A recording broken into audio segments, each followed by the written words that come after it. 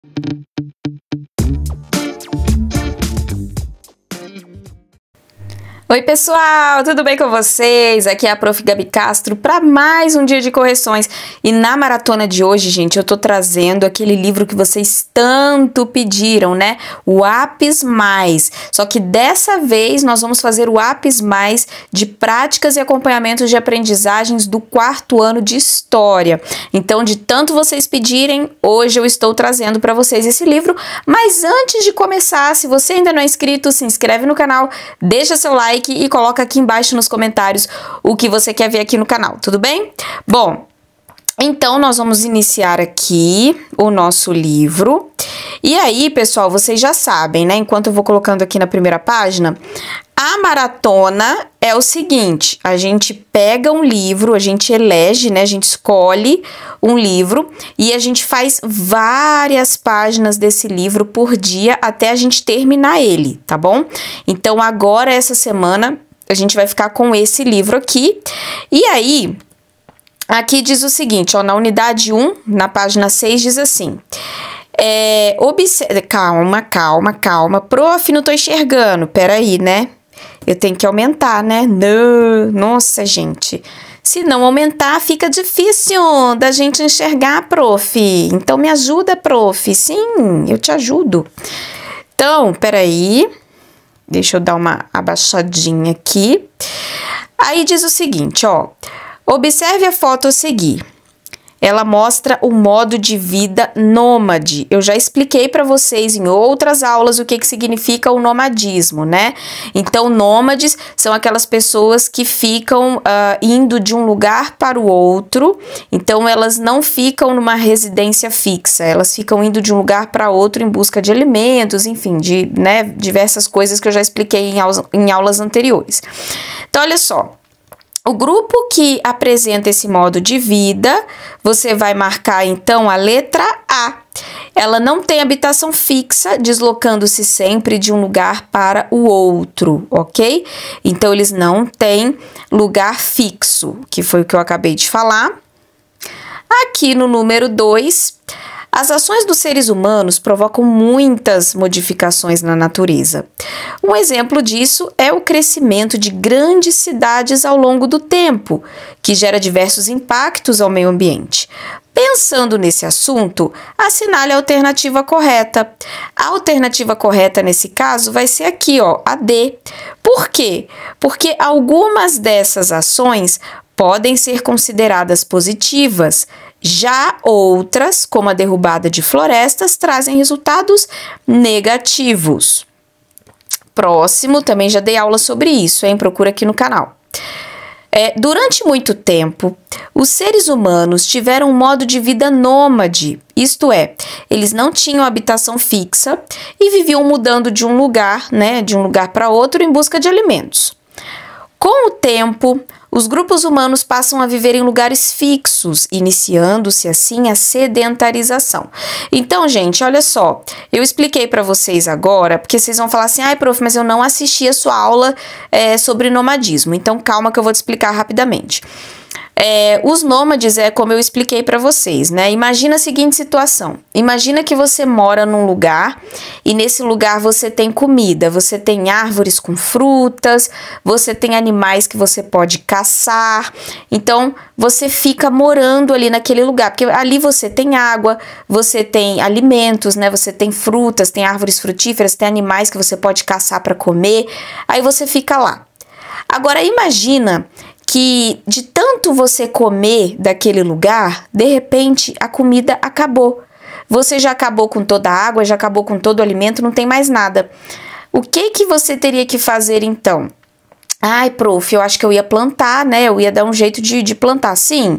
Ah, eu ia procriar mais animais, sim, mas só que naquela época as pessoas não sabiam que dava para plantar uma nova árvore. Então o que, que as pessoas faziam? As pessoas comiam, matavam todos os animais e depois que acabasse com tudo, elas mudavam de lugar e iam para um outro lugar para começar tudo de novo. Então elas iam morar em outro lugar onde tivesse comida, tivesse água, tivesse animais para caçar e tudo mais. Aí, depois o ser humano ficou esperto e falou: Puxa vida, eu não preciso ficar mudando de lugar. Eu não preciso ficar indo de um lugar para o outro. Eu posso ter uma habitação fixa, ou seja, eu posso ficar parado morando num lugar só. E aí veio então a sedentarização. Sedentarização é dos grupos sedentários. Os grupos sedentários é aqueles grupos que escolhiam um lugar para ficar e ficavam ali, e ficavam morando ali, tá? E aí o que, que acontecia? Para o alimento não acabar, eles estavam sempre plantando, tá? Então os nômades, eles não sabiam disso. Os nômades não sabiam que era só ficar plantando, né? Já aqui na sedentarização, eles sabiam que era só ficar plantando, tá? Então, e aí vai vir gente aqui no canal falando assim: "Ai, prof, fala menos e passa a resposta logo". Se você é esse tipo de aluno, não quero receber o seu comentário e pode sair do canal, porque aqui a gente não dá somente a resposta, a gente explica a matéria. Tudo bem? Deixa eu até aumentar mais um pouquinho aqui. Deixa eu ver se vai ficar melhor assim. Então é o seguinte, ah, eu tô querendo a resposta e você fala muito, porque já teve aluno vindo aqui falar que eu falo muito. Gente, eu vou explicar a matéria. Se você quer aprender, fica no canal. Se você não quer, beijo, tchau e racha fora, beleza? Beleza, prof. Então, bora lá para A. Cite duas atividades que favoreceram a sedentarização. O que que favoreceu? O que que contribuiu para as pessoas ficarem fixas em um lugar só? A domesticação de animais e o domínio de cultivos agrícolas. Ou seja, as pessoas começaram a criar animais e começaram a plantar, tá? Cultivos agrícolas começaram a plantar. Ah, vou plantar um alface, vou plantar um tomate, vou plantar uma cenoura e, e vou comer. Beleza? Beleza. Agora vamos aqui para o B. Explique como essas práticas possibilitaram a fixação de moradia em um único lugar. Então, olha só. A domesticação de animais e o domínio dos cultivos agrícolas possibilitaram aos agrupamentos humanos garantir a produção de alimentos, favorecendo a fixação em um único lugar, que foi o que eu acabei de explicar para vocês, tá? Ou seja, o povo começou a ficar esperto, o povo começou a falar: putz, nossa gente, que da hora, né? É só eu plantar um negocinho aqui e a comida não vai acabar, né? Então eu vou plantar eu vou aqui, ó, cultivos agrícolas, eu vou plantar para eu poder comer. Eu vou criar uns animais, vou criar uns gados, uns bois, umas vacas e tal.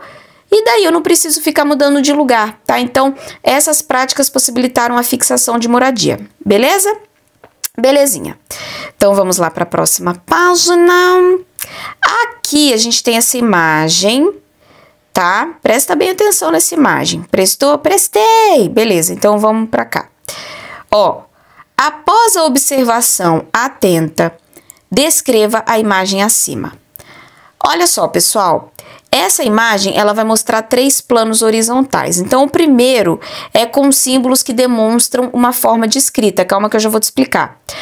O segundo com vacas e bezerro e com o homem ordenando a vaca, ordenhando a vaca. E no terceiro plano, atividades sociais que assemelham à prática culinária ou à produção de alimentos, ok? Então, volta para cá. Então, olha só. Aqui em cima, ó, deixa só eu abaixar um pouquinho, né? Porque senão fica difícil, né, prof, da gente ver. Pois é. Ó, então a gente tem três linhas. A gente tem essa linha de cima, essa de baixo e essa outra aqui, tá? Aqui em cima nós temos símbolos. Esses símbolos é porque lá naquela época as pessoas não conheciam é, o que a gente faz hoje, né? Que é o alfabeto, as letras, não tinha isso. Então as pessoas se comunicavam através de símbolos, através de desenhos. É mais ou menos o que você faz, o que você fazia, né? Quando você tinha aí uns três, quatro aninhos, né? Apesar que tem gente no quarto ano que até hoje não tá sabendo escrever, né, gente? E tá se comunicando através de símbolos, mas abafa o caso. Mas o que que acontece? Quando você tinha lá os seus três aninhos, mais ou menos, seus, os seus quatro aninhos que você não sabia escrever, E se você quisesse se comunicar com alguém, você se comunicava através de desenhos, porque você não sabia escrever. Então, essa parte aqui são símbolos que representavam a escrita. Essa parte aqui de baixo é um homem ordenhando uma vaca. O que, que é ordenhar, prof? Ele tá lá tirando leite, apertando as tetas da vaca. Olha só as tetas dela aqui. E por último, nós temos esta parte aqui que a gente acabou de ver, Ó, deixa eu abaixar um pouquinho assim para você enxergar só essa parte aqui. Olha só, são atividades sociais, tá? Que é como se fosse uma prática culinária. É, as pessoas aqui, elas estavam tipo cozinhando, como se fosse tipo uma forma de cozinhar, beleza? Beleza. Então vamos lá para a letra B, que diz assim: quais atividades humanas são mostradas na imagem. Então, olha só, a imagem mostra pessoas praticando atividades de domesticação e criação de animais. Então, vocês percebem lá que tem a vaquinha, o cara lá tá ordenhando a vaca, né? Bem como atividades artesanais para obtenção de produtos derivados do leite. Então, resumindo, ela retrata a importância da criação de animais e do leite fornecido por eles para o povo do antigo Egito. Próximo. Com base na imagem, é possível dizer que esse povo era nômade ou era sedentário? Olha, gente, aqui nesse caso está muito fácil. Eles eram sedentários, né? Por quê? Porque eles estavam domesticando animais, eles estavam criando animais, eles estavam fazendo cultivo agrícola, eles estavam fazendo produção artesanal de derivados do leite, né? Que permitiam ao ser humano mudar o seu modo de vida e iniciar um processo de sedentarização. Beleza? Tá, então bora lá pro 5. Ó, no diagrama a seguir, há termos relacionados com a migração humana ao longo do tempo.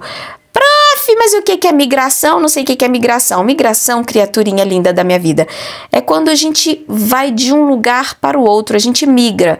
Por exemplo, você já viu quando alguém liga para sua mãe e essa pessoa é da operadora X? Vamos supor que ela é da Claro, por exemplo. Aí liga para sua mãe e fala assim: Oi, dona Fulaninha, você não gostaria de migrar o seu plano para um plano mais vantajoso, com 50 gigas de internet? Aí a sua mãe vira e fala: Eu não, porque é caro pra caramba, então obrigada e tchau, tá?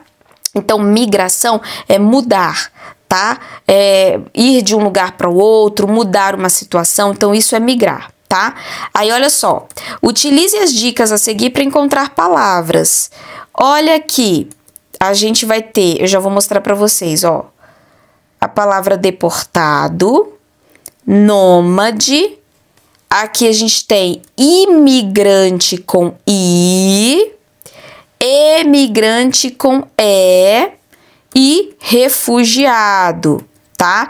Prof, qual é a diferença de imigrante e emigrante? Então, vou explicar para vocês rapidinho. Imigrante são as pessoas que estão mudando para a. Ó, pensa o seguinte: pensa que I é de interno e pensa que E é de externo.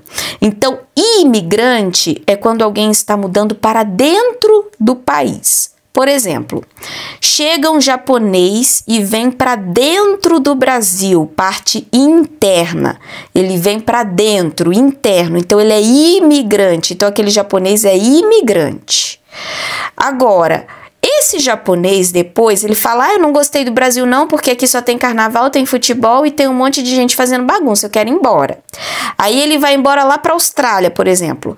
Aí ele está saindo. Quando sai é externo. Então ele está saindo do país. Então ele passa a ser um emigrante. Você é brasileiro, está no quarto ano. Um belo dia você vira adulto e diz para sua mãe: Mãe, tchau, um beijo, eu estou saindo do Brasil e eu quero ir morar nos Estados Unidos. Então você vai ser um emigrante, porque você está aqui no Brasil, você vai ser um emigrante. Tá? Quando você chegar lá no aeroporto de Guarulhos, por exemplo, as pessoas vão olhar para você e vão falar: "Olha, um emigrante, ele está saindo do nosso país". Então você vai ser um emigrante aqui no Brasil. Quando você chegar lá nos Estados Unidos, quando você colocar o seu pezinho lindo no aeroporto lá de Massachusetts, por exemplo, ou sei lá da onde, aí você vai ser um imigrante, porque você está entrando no país interno. Deu para entender? Deu sim, prof. Agora fala de deportado. A pessoa deportada é a pessoa que foi expulsa do país. É tipo igual aquele seu colega bagunceiro que a sua professora fala sai da sala e aí a sua professora vai e expulsa ele da sala. Então ele está sendo deportado da sala. É tipo isso, tá, gente? Mas então, deportação é quando você é expulso do país. Imagina que, tipo, sei lá, você fez uma coisa muito, muito grave. Você fez uma coisa tão grave, mas tão grave que o presidente da república olha para sua cara e fala: tchau, vaza lá pro Japão, pra China, vai lá pra casa da égua, mas não fica aqui no Brasil que eu não te quero tá? Isso é ser deportado. Nômade já expliquei. É, refugiado. Refugiado é tipo assim: sabe quando a sua mãe tá com chinelo na mão querendo te dar umas chineladas na bunda porque você aprontou uma coisa muito sinistra e a sua mãe tá muito irada contigo? Pois é. Aí você vai e se refugia. Aonde? Na casa da sua avó, por exemplo. Daí você vai e pede socorro. Chega na casa da sua avó fugido e fala: Vó, me protege, porque a minha mãe tá irada comigo. A minha mãe quer bater em mim. A minha mãe quer me dar uma chinelada na bunda. Aí a sua avó vai e te protege. Então, refugiado é tipo assim: imagina que você mora num país que lá o bicho tá pegando. Se você não sair correndo do seu país, você pode até ser morto, por exemplo tá? Então, imagina que nesse país, por exemplo, os venezuelanos, eles vieram refugiados para o Brasil. Eles vieram para cá porque lá na Venezuela o pau tava quebrando e tava assim, é, as pessoas estavam passando muita fome, tava uma coisa horrorosa. Não vou entrar nisso aqui pra gente não tirar o foco. Então, eles vieram refugiados para o Brasil. Eles vieram meio que fugidos, é, buscando um lugar que eles pudessem ficar de boa, Entendeu? É tipo quando você sai correndo do, da, da casa da sua mãe e vai lá pra casa da sua avó pedir ajuda, tá? É tipo isso. Então tá. Pessoa que vive legalmente em outro país. Pensa que você é essa pessoa. Você é essa pessoa e você tá vivendo em outro país. Quando você chega no outro país, você está entrando, não é isso? Dentro do outro país, então você é imigrante, porque você está entrando interno, lembra? I de interno, você está entrando naquele país, interno, então você é imigrante. A pessoa que não tem moradia fixa é nômade. Ai, prof, a minha vizinha já mudou de bairro 50 vezes. Calma, calma, esquece a sua vizinha. Mas é tipo isso, tá? Que fica mudando de casa toda hora, mas é, esquece. Bom, pessoa que é obrigada a abandonar o seu país por motivo de guerra ou perseguição, é o que eu acabei de falar, refugiado. Tipo, ah, o seu país tá, tá uma coisa horrorosa, o bicho tá pegando, ou você tá sendo perseguido, né? Alguém tá querendo te dar uma, uma baleada na cabeça básica, tá querendo te matar, e aí você faz o quê? Você se refugia. Ato de partir para outro país, emigração. Lembra, e de externo. Então, quando você sai, você é emigrante. Quando você entra, você é imigrante. Saiu do Brasil, você é emigrante. Quando você colocar o seu pezinho lá no outro país e você entrar no outro país, então você é imigrante. Deportado é aquela pessoa ilegal que é expulso do país, como eu acabei de te explicar. Agora vamos para a letra B de bola. Olha só. Escolha uma das palavras encontradas e elabore uma frase contextualizando-a historicamente. Então, olha só. Você pode colocar assim, ó. Atualmente, a maioria da população mundial é sedentária, Porém, ainda existem povos nômades em algumas regiões do planeta, porque vale lembrar que existem regiões do planeta que são muito precárias, que realmente não tem como viver, então as pessoas acabam adotando o nomadismo e mudando de um lugar para o outro, tá? É, seis, no início do século XX, iniciou-se a imigração japonesa para o Brasil. Imigração interno, quer dizer, começou a entrar um monte de japonês aqui no Brasil, em decorrência de um acordo entre os governos brasileiro e japonês. O Japão estava com problemas de superpopulação e o Brasil com falta de mão de obra em suas fazendas de café. Então, olha só que coisa legal. O Japão estava explodindo de tanta gente. Tinha japonês saindo pelo ralo, tinha japonês saindo pela tomada de tanta, de tanto japonês que tinha. O Japão estava lotado de japonês e na verdade até hoje isso acontece. E o Brasil falou: "Ai, gente, eu tô precisando de gente para trabalhar, porque eu tô cheia de fazendas de café e como é que eu vou fazer? Eu preciso de... Porque naquela época, gente, não tinha esse negócio de robô, de indústria, de fábrica automatizada com os robôs e os robôs ficam lá com os bracinhos trabalhando, não. Era tudo pessoas mesmo que trabalhava. Então, o Brasil naquela época não podia falar assim, ah, vou contratar uma inteligência artificial para trabalhar na minha fazenda de café. Não tinha isso. Então, o Brasil falou: hum, vocês estão com muita gente aí e nós estamos com poucas pessoas aqui para trabalhar na fazenda de café. Aí o que, que aconteceu? O Japão falou: ah, então eu vou aí dar um, uma ajudinha para vocês, vou trabalhar aí. E aí, o que, que aconteceu com os trabalhadores japoneses aqui no Brasil? Aconteceu isso aqui. Eles vieram para as áreas do plantio de café, algodão, pimenta do reino, que eu adoro para colocar na carne, mas depois se deslocaram para cidades. Então, olha só, a japonesada veio para cá e falou: beleza, vamos trabalhar nas fazendas. E eles trabalhavam nas fazendas, mas aí depois o tempo foi passando, eles foram tendo filhos, e os filhos dos filhos dos filhos falaram: ai, não quero ficar na fazenda não. Aí o povo começou a ir para a cidade. Tanto é que lá onde eu morava, lá em São Paulo, capital, tem um bairro que é um bairro só de japoneses, que é um bairro muito famoso no Brasil inteiro, que é o bairro da Liberdade. Lá só tem japonês. Dá um Google dá um YouTube aí e pesquisa Bairro da Liberdade para você ver que da hora que é. 7. Selecione a alternativa que preenche corretamente as lacunas das frases a seguir.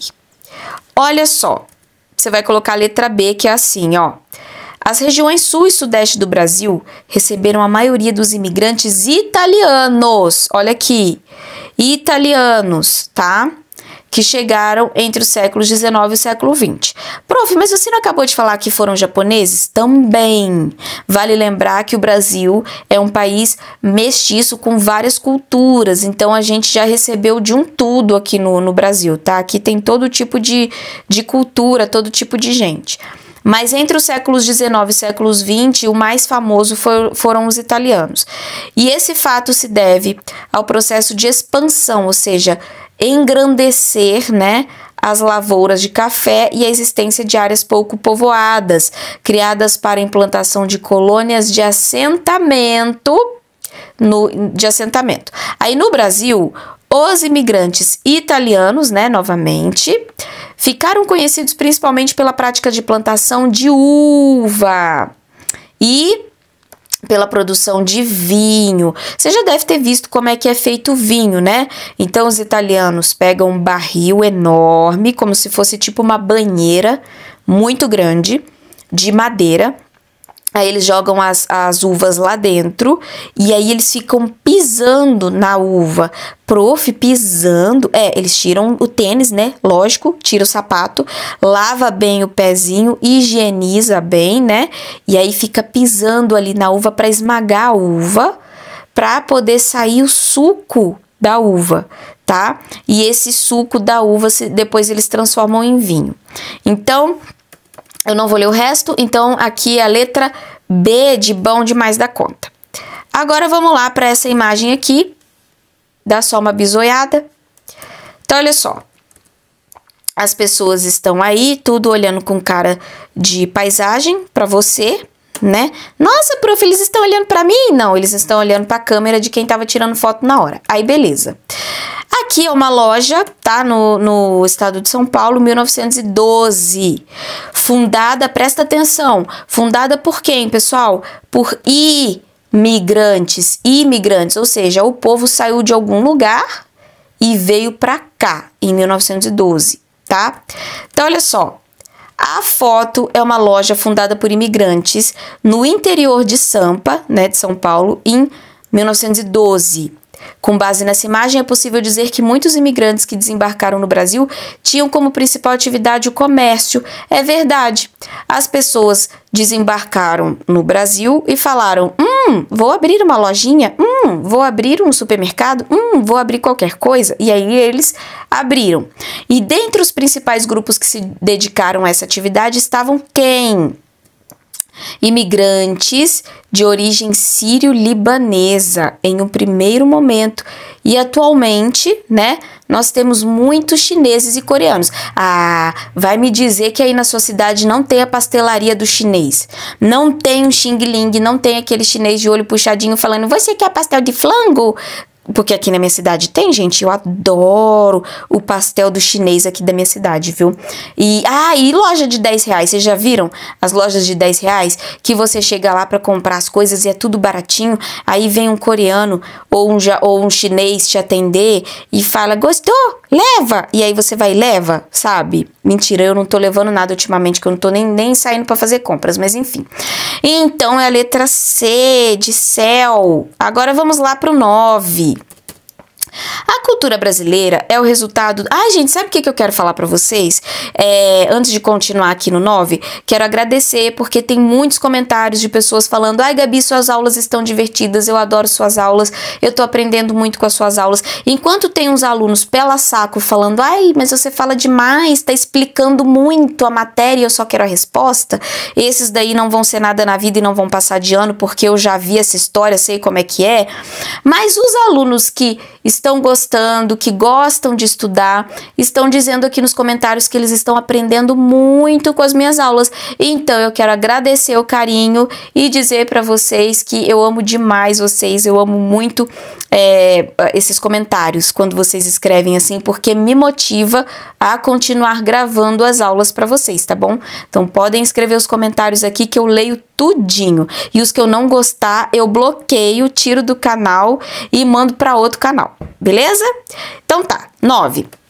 A cultura brasileira é o resultado do encontro de diferentes culturas. Ela recebeu a influência de diversos grupos que vieram para o Brasil. Então, europeus, né, principalmente, portugueses, italianos e africanos trouxeram suas contribuições para formar a cultura do nosso país. Foi o que eu acabei de falar. Juntou um monte de, de gringo, um monte de pessoas de outro, outros países, e aí a gente formou a cultura do nosso país, né? Com a mistura de todos os outros países. Pensando nisso, dê exemplos de contribuições de imigrantes para a cultura brasileira. Ou seja, a pergunta está falando o seguinte: o povo saiu do país deles para vir para o Brasil. O que que eles trouxeram de bom para o Brasil? O que que a gente aprendeu com eles? Você pode colocar o seguinte, ó. Você pode colocar assim, ó, trouxeram a partir daqui, ó, tá? Aqui da cultura, ó você pode escrever: trouxeram cultura e tradições presentes no cotidiano. E também, né?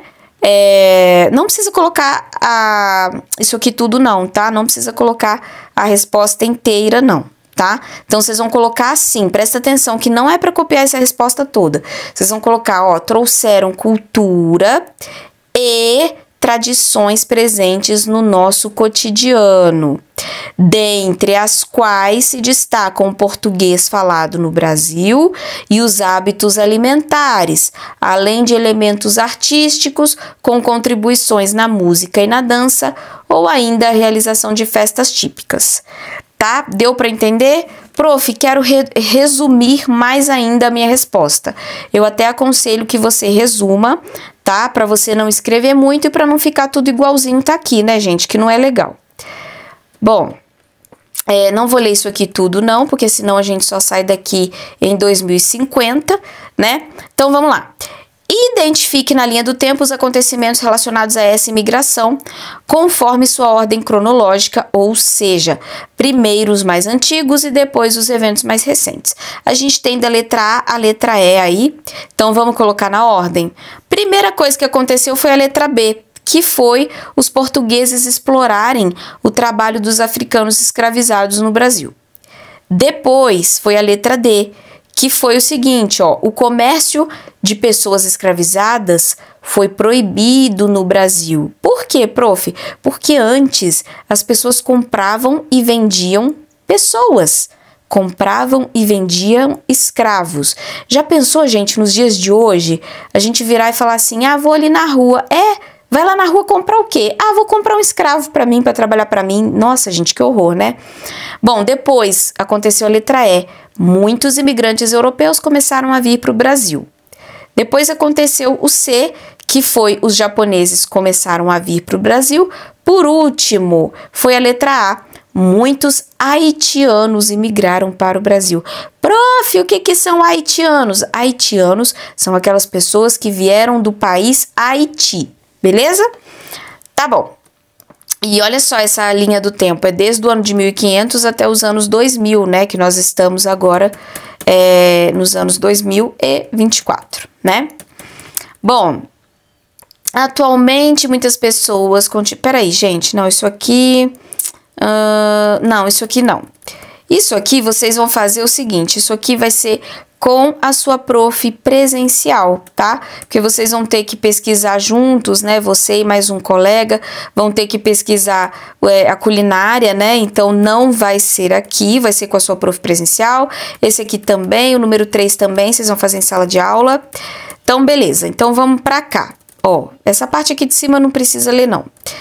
Um, com base nos dados pesquisados na etapa anterior, podemos afirmar que a culinária de um país se relaciona com a origem cultural desses habitantes? Explique. Então, olha só. Aqui você vai colocar, ó, a diversidade, lembra, início de frase, letra maiúscula. Pois é. Então, letra maiúscula, vocês vão colocar a diversidade que marca a culinária brasileira e o fato de que ela reflete a variedade da nossa cultura é, contribui, de diver, contribui é, para diversos povos e suas tradições. Coloca assim que vai ficar melhor, tá bom? Então, de novo, ó, a diversidade que marca a culinária brasileira e o fato que ela reflete a variedade da nossa cultura, com a contribuição de diversos povos e suas tradições, tá? Bom, dois, você acredita que no futuro a alimentação brasileira continuará se transformando com o acréscimo de novos pratos de diferentes origens? Por quê? Gente, olha só. Uh, vocês sabem, né? Aqui eu preciso explicar. Vocês sabem que muitas coisas que a gente come né? A gente é, teve influência de outros países. Por exemplo, o panetone. Eu não vou contar agora qual é a história do panetone, mas numa outra ocasião eu conto de onde surgiu o panetone e a história do panetone, aquele que você come no, no Natal. Mas, por exemplo, o panetone, ele surgiu na Itália. E os italianos trouxeram essa, essa, como que eu vou dizer, essa cultura para nós. E aí a gente passa a comer panetone também. Então, isso é uma coisa que as pessoas vão trazendo para o Brasil e a gente vai aderindo. A gente vai. A única coisa que eu não quero aderir, gente, é porque os chineses eles comem gafanhoto no palitinho, sabe? Espetinho, espetinho de gafanhoto, espetinho de insetos. Isso daí eu não tô querendo aderir, não, sabe? Mas o panetone, eu bem que gosto de um panetone. Pizza também eu gosto. Então, olha só. Você acha que isso vai no futuro vai ser ainda mais do que já é? Então olha só, você vai colocar como hábitos e tradições, lembra início de frase letra maiúscula. Como hábitos e tradições são elementos vivos e que se transformam sempre, a gente pode ter esse tipo de contribuição sim, tá? Então, presta atenção. Você não vai colocar absorvendo novas contribuições.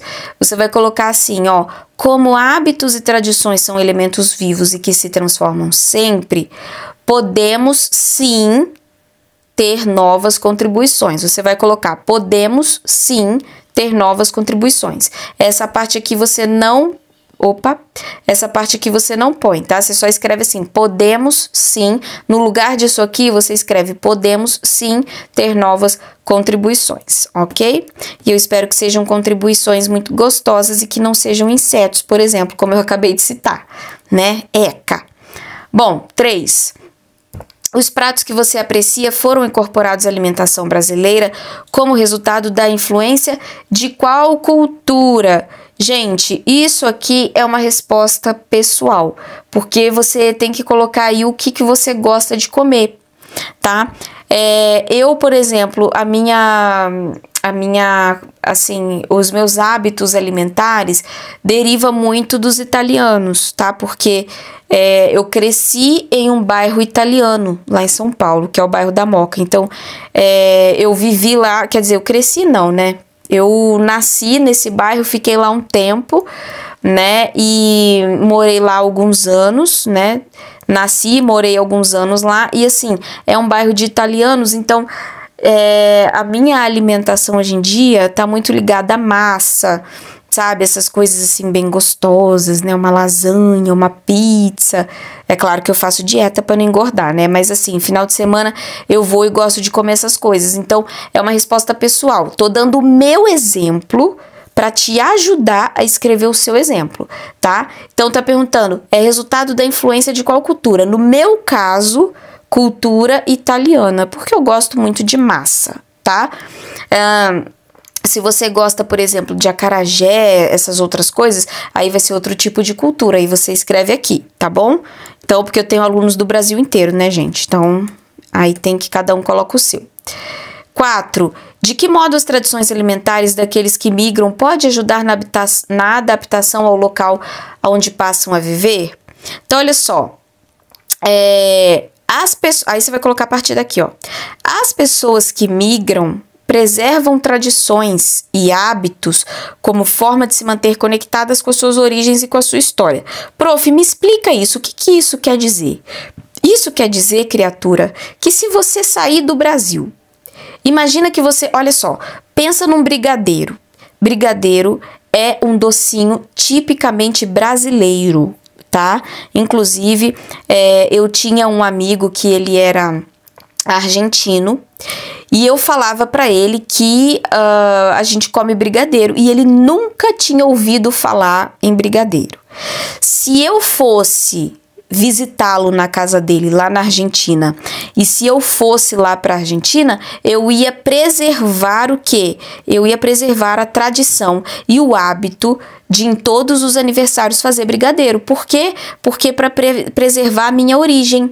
Qual é a minha origem? Brasileira. Então, os japoneses, por exemplo, saíram do Japão e vieram para o Brasil e eles até hoje eles comem sushi, eles comem sashimi, eles uh, usam molho shoyu. Esse molho shoyu, por exemplo, também é uma coisa que a gente vê muitas pessoas comendo, né? A gente coloca na carne e tudo. Por quê? Porque eles estão preservando as tradições da origem japonesa, que é a origem deles. Deu para entender? Então, quando você sair do Brasil e for fazer brigadeiro em qualquer outro país, você pode falar: "Ah, não, eu tô preservando minha origem porque eu sou brasileiro e eu vou fazer brigadeiro aqui, meu amor. Se você não quiser comer, dá tudo para mim que eu como". Entendeu? Aí você fala lá com o gringo, fala: "Ó, oh, me dá aqui que eu como tudo". então é isso aí, tá? Tá bem explicadinho? Tá, prof. Ah, que bom. Então, ao final da conversa, produzam um breve texto. Isso aqui também vocês vão fazer com a sua prof presencial, ok? Uh, aqui a gente tem uma criação, tá? Que vocês precisam fazer em grupo, tá? Então, essa parte aqui a gente vai pular. E aqui a gente vai parar, então, olha só, a gente vai entrar na unidade 2. Deixa eu ver que página que a gente parou. A gente parou na página 15, tá? É, nós vamos parar, então, a gente vai é, começar a unidade 2 na próxima aula, tá? Então a gente vai parar na página 15 e nós vamos iniciar a atividade, é, a unidade 2 na próxima aula. E então, se você gostou desse vídeo, não esquece de compartilhar, já se inscreve no canal se você ainda não é inscrito.